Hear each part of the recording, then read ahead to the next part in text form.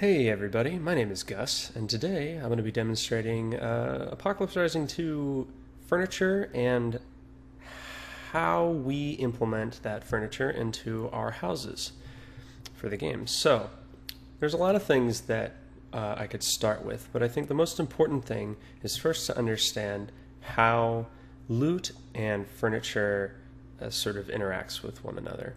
So, you're about to see something pretty cool here. Here is a, a, shortened version of Apocalypse Rising 2's furniture palette. There's a lot of things here, but there's actually about, this is probably only 50% of, of what we have so far. But mm, I don't want to show off everything, so this is a, a nice little demo. And here you'll see uh, a series of loot spawners. We'll take a look at those in just a moment. But um, we have a house here. We have a bunch of furniture. And there's a different, you know, there's different kinds of furniture. There's containers, there's static furniture, uh, and then there's sort of a mix of both. Um, the first thing you need to understand about loot spawners is loot can both appear in a furniture object and outside of a furniture object.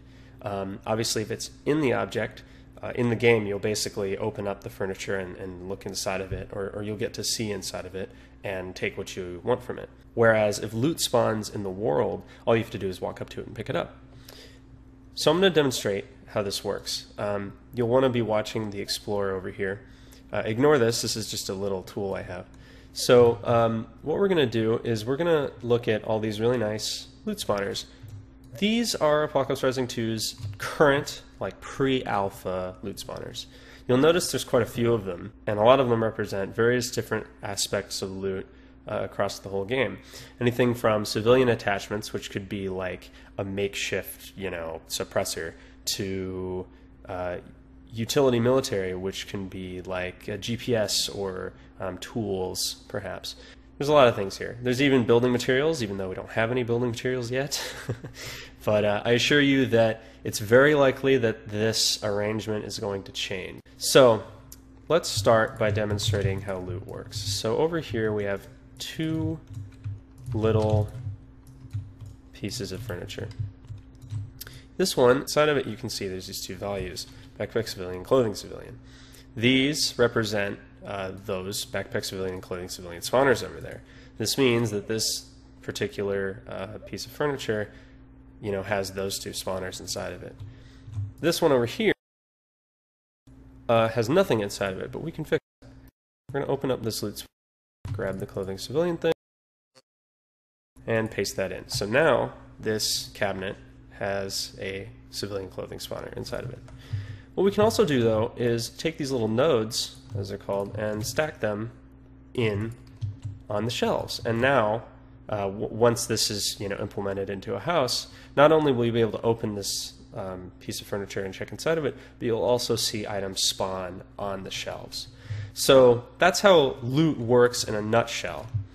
But now we're going to use our tools, use our big pallet of furniture here, and uh, fill up this house. So let's take a walk through first and see what it looks like inside. You can see we have a big open area here. This is likely a living room, dining room area. We have a sort of island counter kind of thing going on, and this is the kitchen. This is the back door leading outside, just like a set of stairs right there. And then over here we have the staircase leading up. Uh, APOC 2 houses aren't like real houses. There's not things like um, utility areas or like laundry machines, washing machines. We don't have bathrooms. We're not going to bother with that. We're focusing on a sort of, you know, gamey, arcadey approach to having a world and building houses. So up here is pretty much the bedroom, whereas normally there'd be like a hallway and then, you know, separate rooms or whatever. You pretty much just walk right into the bedroom in this house. Whoa. And then over here we have uh, a sort of bonus room so we're going to figure out where all this loot is going to go, and we're going to start right away. First thing we're going to do is start with the kitchen. So I'm going to select this thing, use my fancy little plugin to quickly and easily place the fridge. And then we're going to use Roblox's uh, tool here to make sure it's rotated the right way. And we're going to the stud grid and gently move that into place and there's the fridge. Now inside that fridge it has two consumable civilian spawners. Now this is um, this means that you know it's going to spawn civilian food uh, anything from cans of beans to, I guess, cooked steak, uh, I suppose. But that kind of thing, those kinds of details, we're not really sure about. It might change in the future. So, you know, take everything you see here with the grain. But there's that. Now we're going to place our sink. So we're going to come in here, place that, make sure it's flipped around the right way. Oh, I accidentally grabbed two things there. And now we're going to just set that in place. Now in the sink, we have a consumable civilian and a medical civilian spawner. Um, that's pretty common in APOC. It's pretty common that uh, uh, the sinks will spawn medical supplies. Because um, if you'll, uh, well, if you're aware, it's very likely that APOC won't go crazy with food healing, uh, APOC 2 rather.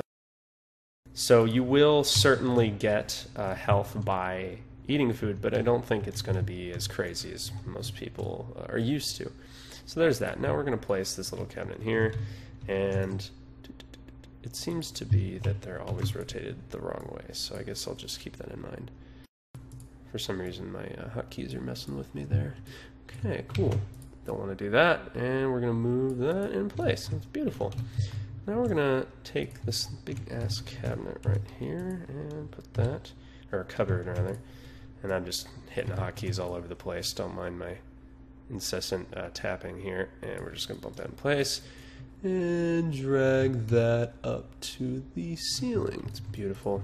And all these cabinets or cupboards, they're, they're very much full of consumable spawners. So pretty boring, but you know maybe in the future we'll have uh, more diverse loot. It's still very much you know prototype. Uh, there's there's a lot that uh, is likely to change between now and even the alpha. So don't uh, don't go crazy.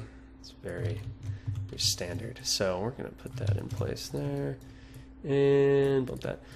So we have a nice little kitchen area now. Um, and you know I'm a little disappointed that there's so many consumable spawners there. So we're gonna go ahead and just spruce up one of those spawners by adding something like just a utility civilian up in that cupboard there. Now it has two spawners, so that's cool. Now we're going to do the living room area. So we're going to grab this couch. First thing we're going to do is place it right over here. It's a nice little spot. And we're going to rotate that around because it's always in the wrong, freaking wrong way. And we're going to off offset it just a little bit, but we want to make sure it's not bleeding into the wall and that is done. So now we're going to grab our little TV stand over here. You can see there's quite a diverse set of objects, anything from uh, bookshelves and little uh, cupboards and, and things like that to safes, garbage cans, tables, beds, all kinds of good stuff. So we are going to have fun placing this little TV stand. I feel like Bob Ross, you know, happy little accidents. Look at that TV stand. Oh, it's beautiful. Why can't I? Oh, I'm having a there we go.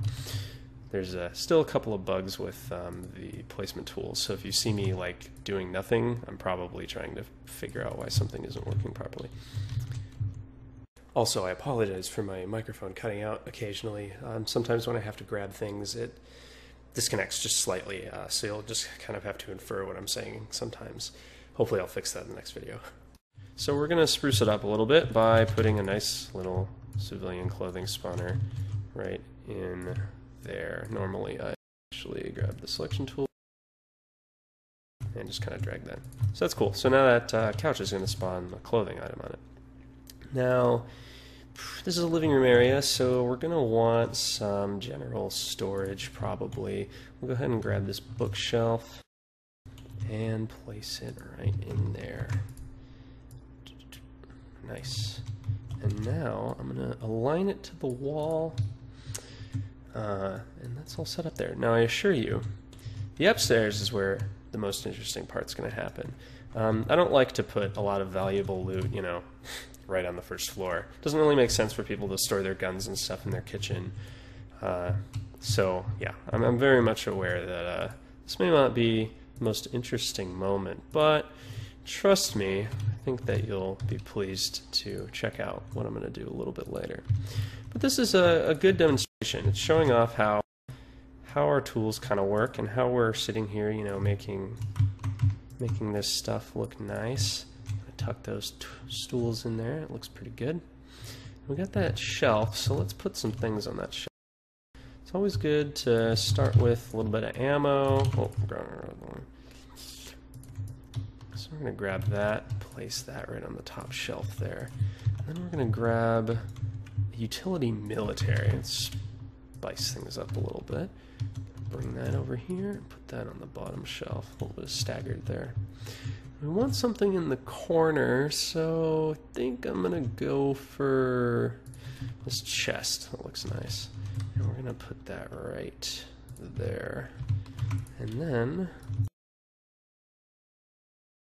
just kind of spin it a little bit.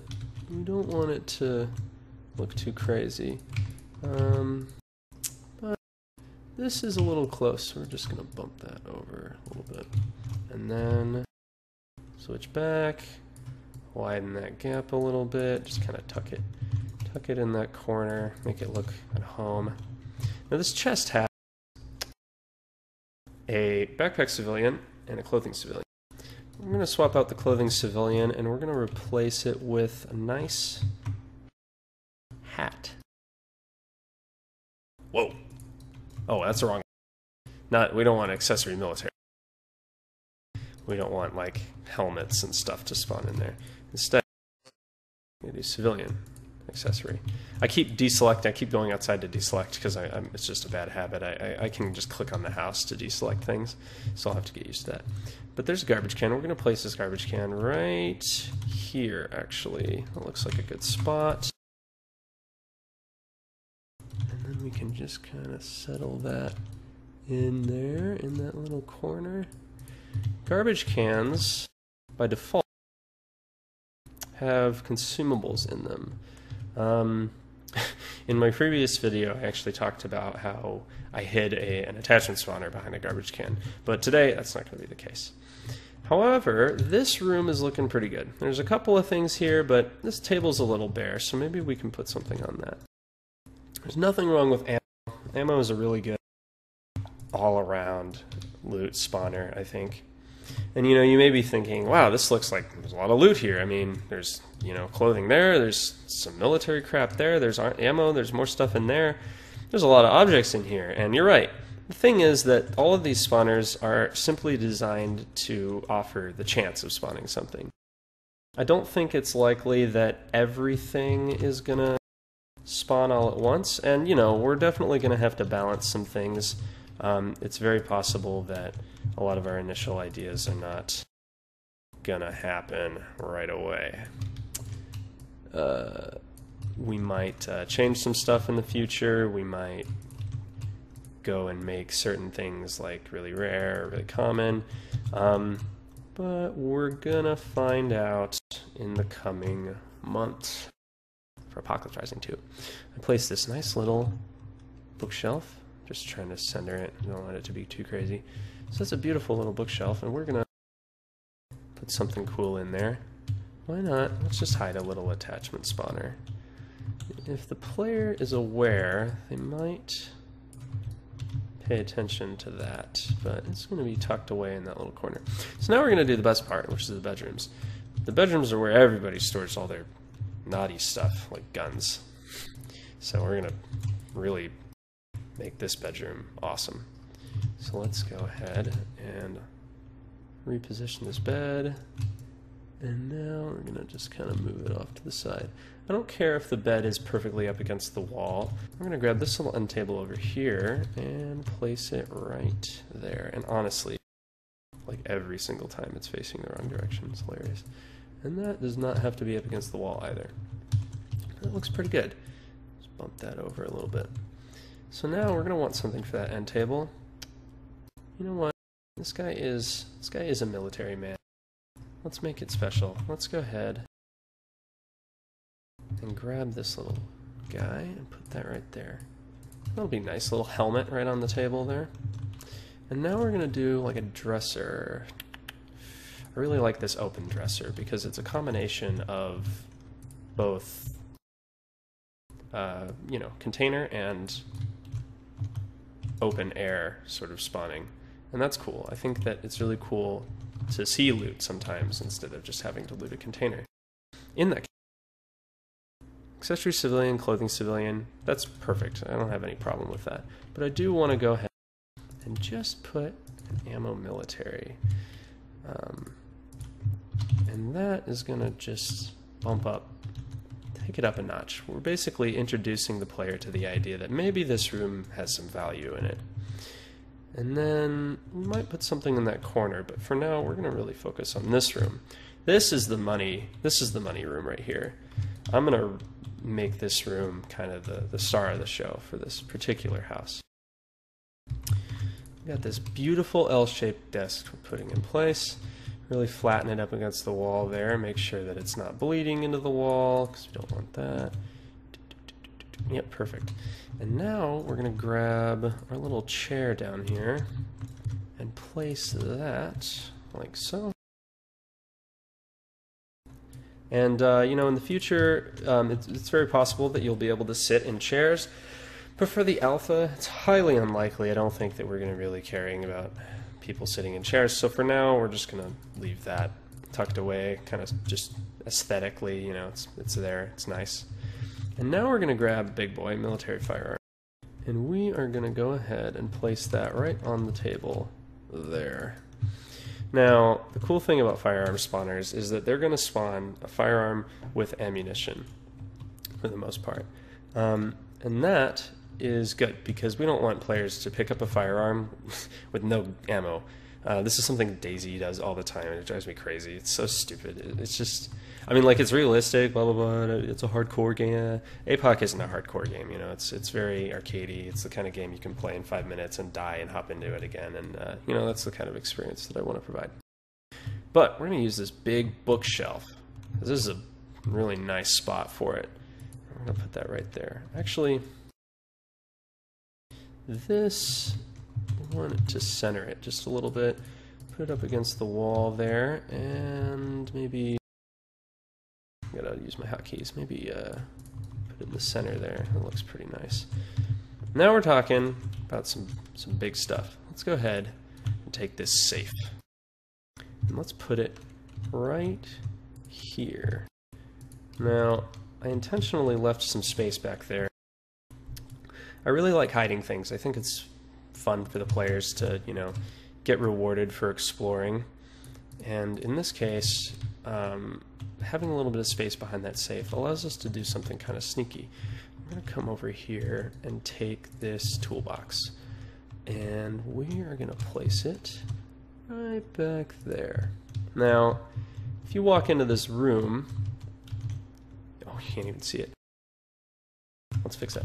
If you walk into this room, you can kind of see something behind there, but I want to make it a little not like too obvious, but definitely I want people to have an opportunity to, to be observant and be rewarded for being observant.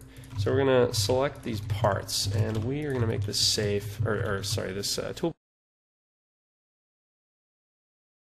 nice dull red. And then we're going to take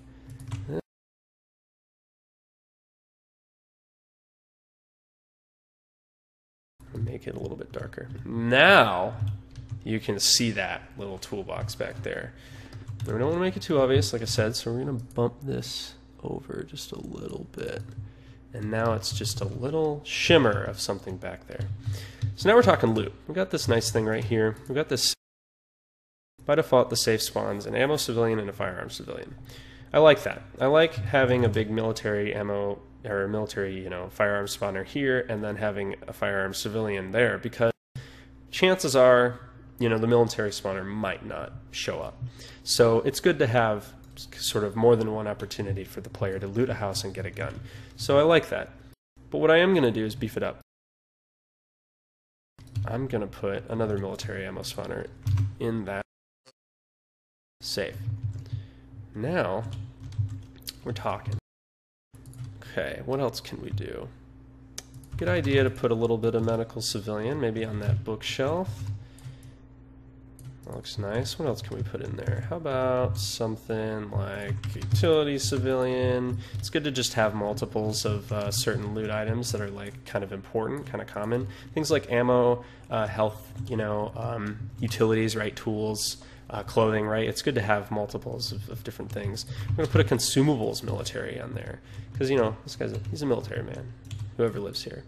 That's another thing. It's good to think of level design, think of buildings um, from a storytelling perspective. Like, what kind of person lives in this house? Why does this person have, you know, um, certain colors for their furniture? Or why does this person have certain guns? Or why does this person have, you know, a helmet on his table? Well, maybe he's active. active, active well, maybe he's active duty or something like that, you know. So we like to think about these things because it kind of helps us um, really tell a cool story or, or make the world feel more like alive. So by painting the picture that this guy is, you know, military, that's, that's cool. So we're going to put another ammo spawner there. Why not? And now, what are we going to do about that little back thing? Well, I'm thinking military medical is really valuable. It's something that, you know, is probably going to be pretty rare. So hiding that in that little tool chest, I like that. I think that that's really neat. There's more space on this table here, so I'm wondering what else we can put there. Um, now, we don't want to go crazy. We don't want to make this house, you know, legitimately have a chance of spawning every single thing. We got an attachment, we got a military firearm, civilian firearm, ammo for both uh, aspects. We don't have any melee weapons, though. Hmm. Hmm, hmm, hmm. That might be a good option. Why not? Maybe he's got like a hatchet or a crowbar or something right next to his, you know, big firearm. It's not too bad. So this is looking pretty good. got a nice little back room here. Got a little secret hidey hole. Um, maybe I can put something on this bed. Looking, I'm not seeing anything too crazy, but we can put another backpack spawner right in the corner over here. Um, that'll be nice because you're walking upstairs and you know you're not going to see anything here and if by chance that does spawn that'll be cool. You'll go right for it you know? You'll kind of look around then and see oh man there's a helmet there. You know and I could also put something in here uh, it looks like it does have ammo in it but I'll just leave that utility civilian there it's always good to have duplicates uh, we've already checked that one this table it does not spawn anything so we're not going to worry about that that's looking pretty good. So let's just double check. Let's take a walk through here. Let's see. In here, got some accessories backpack, blah, blah, blah. Okay. Food, food, food, food, food. Medical, uh, medical in here, regular food in there. Sneaky, yep, sneaky uh, attachments. Civilian right there. And then we got some military stuff. We have our gun here, another gun in there. Ammo pretty much all over the place, another medical stuff. This is looking pretty good. I'm pretty happy with this. Now, uh, another important thing about the APOC 2 sort of housing system is this is one house variant. Now, we might not have a ton of variety house-wise. I mean, there might be some duplicate structures, but what really matters is the inside. When I say that this is like a particular house variant, I mean that we might actually have more than one of these kinds of houses. We might have a copy, and we might say color it differently. You know, uh, we might go ahead and I'll just quickly select this stuff to demonstrate. Make it like a nice, you know, teal or red or something like that, right? And then, you know, maybe take this and color that differently. And now, why not? You know, that's that's a different looking house. Obviously, we'd go crazy and we'd really make it look a lot different. But then inside of that house, variant 2, for example, would be a completely different set of furniture, maybe even different wall placement and like a different placement of the stairs and stuff like that. Maybe even different window placement, you know, and different kinds of doors, colors for all that stuff. You know, um, all of the furniture inside variant 2 would be completely different from variant 1. Another thing we can do is also uh, we can recolor things, and they don't all have to be the same. So we can go and make this a nice, you know, pink or maybe a nice. That looks great. There's definitely some other options. We can take these and make them, you know, sort of brass color instead. to kind of symbolize that. Uh, obviously, you know, it's worth messing around with. But we can also change things like cabinets too. And this isn't uh, limited by the game or anything. We can actually go into each house, and even though that these are instances of the furniture, the system allows us to change these colors, and the game supports it, which is really important because if we couldn't do that, you know, every single house would have the exact same colors of all the furniture, and it would just be horrible. But no, that's not a limit for us. Whoops. That looks kind of interesting, and you know, it's just an example, but you can see the the sort of um, diversity that we can really achieve here. And of course, with having multiple house variants, um, these houses, like when they're in the game, uh, house variant one might be in a particular town, you know, town one, and house variant two might be in town two. And maybe House Variant 1 has a ton of military stuff like this one, but maybe House Variant 2 has, you know, more clothing or, or maybe um, there's something uh, like some crates that have vehicle parts in them, for example. And those houses are going to, you know, they're going to stay in those locations. They're not going to be randomized or anything. So you'll be able to actually kind of identify uh, certain houses in certain areas that might stand out from others. Um, give you a really good example. Uh, there's actually a really cool warehouse um, that I built recently that I consider like a food warehouse. It has a ton of industrial freezers and it's got, you know, crates and crates of like military food and, you know, a lot of just food stuff. And it's really cool because if you recognize like where that location is um, and you remember that, you know, it might affect your gameplay um, because unlike APOC, where you just have no idea what loot is going to spawn anywhere because there's no furniture, you know, um, in APOC 2, you'll be able to kind of memorize certain locations and, and what really stands out. Another idea that uh, the staff pitched recently was we could have a house like just like this one, variant two or variant three or whatever, and it could have a basement, you know. But the other houses they wouldn't have a basement. You know, this one this one could have a basement, and it could, for example, have um, some spooky dungeon stuff down there there's all kinds of cool stuff we can do, really. And uh, the variety that's possible is just amazing compared to Apocalypse Rising. Um, and if you're worried about detail, if you're worried about your performance, you should definitely check out. Uh, maybe I'll link it in the description. You should definitely check out uh, a thread I made on the Reddit about specifically about performance and all the things that we're doing to make sure that you can run the game just like just as fast as anybody else. Anyway, I hope you enjoyed checking out our cool, diverse spawners. I hope you uh, liked, you know, a lot of the furniture here, and I hope you enjoyed watching me use a couple of our tools and demonstrate kind of how we loot houses out, what kind of things we're thinking of while we're doing it, and uh, I definitely plan to, to hopefully do some more videos like this, or um, definitely some videos talking about Apocalypse Rising 2 in general, or even just playing APOC and complaining about how uh, bad the game is. But I would love to hear what you think about what you'd like to see. Anyway, thank you guys for watching. I hope you enjoyed this video, and hopefully I will see you in the next one.